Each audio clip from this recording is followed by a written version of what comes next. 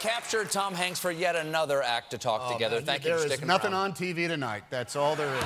As far as I'm concerned, there is nothing on TV. All right. Now, I wanted to ask you about uh, your friend Jonathan Demme, Oh, who uh, I know is a dear friend of yours, and uh, you did Philadelphia together, We- we and he produced uh, Uh, that he- thing you do. And he was in that thing you do. He played a Yeah. cameo as the movie director. Here's the here's the great thing about it. God bless him. I love him. And it's it's been a tough week, quite frankly, um, because my my whole production company came about because of because of Jonathan. Here's the thing about working with Jonathan. Jonathan, all of his movies were like you were hanging out with the most well-liked and hipped adjunct professor at your state college because he drank wine during uh, office hours. Says, come on in, come on in. We're just we're just talking about Kierkegaard. Sit down. That's what it was like. We were we would uh, he had this policy that no other movie directors have, which is anybody can come to dailies. Usually directors see dailies in a locked bunker.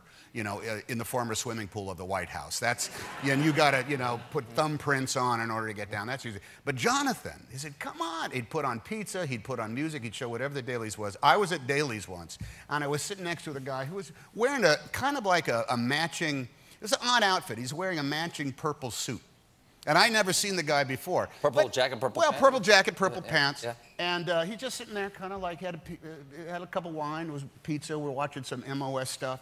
And uh, I thought maybe he was like, on the prop department. You know, is he is one of the account? I don't know. There's a lot of people on a movie that you never see. Yeah, sure. And I'm just sitting there. I said, "Hey, man, how you doing?" He said, oh, "Pretty good, pretty good, great." Yeah. Is this your first time at Daily? He says, "Yeah, oh, yeah, it sure is." He's there. Uh, what do you What do you do here uh, on the movie? He said, "Oh, I don't work on the movie." I said, "Well, who are you?" He said, "Oh, I'm the FedEx man." he was the FedEx guy. You know, FedEx. His car is like parked in the middle of the street, right out. And Jonathan said, "Hey man, how you doing? Pretty good. You had a rough day. I'm almost done now. You want to watch the dailies? What are dailies? It's kind of like watching a movie that doesn't make sense. Well, yeah, sure, yeah. Put the thing down. And he was watching it like this. I was watching, you know. Hey, is the guy says to me, "Is that Denzel Washington?" Yeah, yeah, it is. As a matter of fact, yeah, yeah. Is he in the movie too? Yeah, he is. Is he at dailies? No, Denzel's, No, he didn't come to the. Oh man, I'd love to meet Denzel Washington. Uh, there- there- I'm telling a slight story, but it's not far off the mark. well, here you, here you, here you are Ah, with there's- him there- in there's 1994, right there. Sweet, sweet guy. And the, uh, another great thing about him, uh, he was uh, my, the first time I took my wife out on a bona fide date.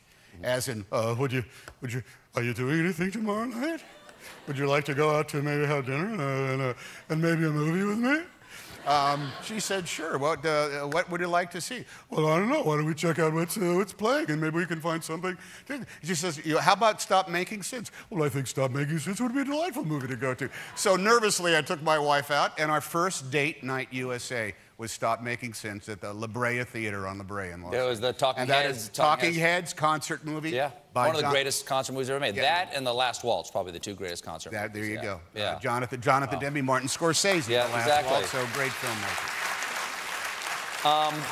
Well, we got to go in just a, a minute here because you've, you've given enough to America at this point, but we want to give something back to you. Um, every day, uh, one of the, uh, the, the, the young uh, people who works here, one of the assistant One of the producers, millennials? one of the millennials, they love calling, One they the call each other millennials. of control young people that work upstairs in your office. That's exactly right. She puts up uh, the hunk of the day, and she recently uh, put up. She, she recently oh, put up this hunk of the day. Today's hunk is Tom Hunks. okay. Oh, wait a There it minute. is. Hold on. Okay.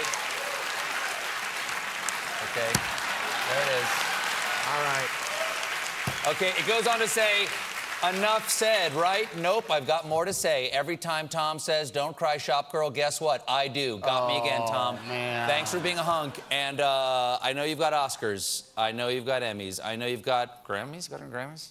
No. but- Okay, but but now I- you I have got hunk a, of the I got day. a, oh, man. I- Kennedy Center honor and hunk of the day.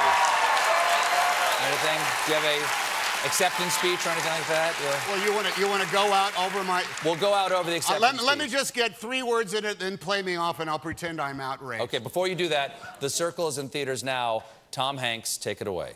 I owe this fantastic moment to uh, my first to my to my first to my first drama teacher who taught me everything I know, to my beautiful wife Rita, to my four kids.